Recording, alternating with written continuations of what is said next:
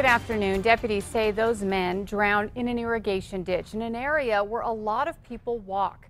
Friends are shocked. Something like this could happen to someone who was so athletic. News 13 So Young Kim spoke with them today.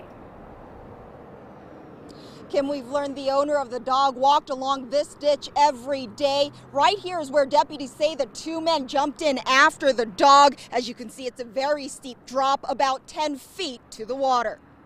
When Chris Holland's girlfriend didn't hear from him last Wednesday, she started to worry. Why haven't you called me? It's been almost a day. That's not right.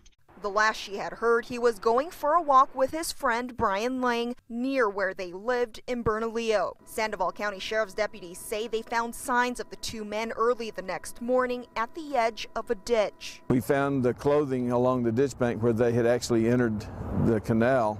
Deputies say they believe trouble started when Lang jumped in after his dog. Got in trouble after he got in the water and couldn't get out and couldn't rescue the dog. And Holland jumped in after Lang. They both ended up downstream.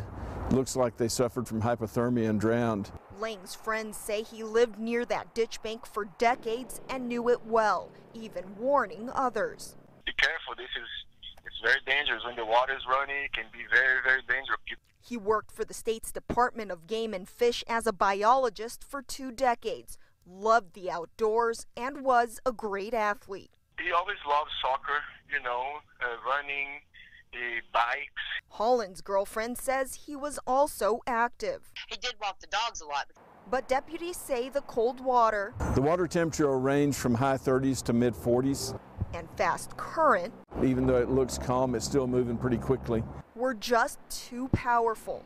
A lesson to everyone that ditches can be deadly, even to the most experienced swimmers. The debris that can be under the water could actually trap somebody and pull them under.